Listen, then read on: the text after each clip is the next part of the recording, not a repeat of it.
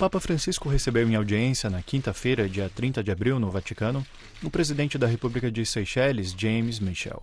Durante a conversa foi manifestada a satisfação pelas boas relações existentes entre a Santa Sé e a República de Seychelles, o menor país africano, e destacada também a contribuição da Igreja Católica no serviço em favor da sociedade, sobretudo no campo assistencial e educacional.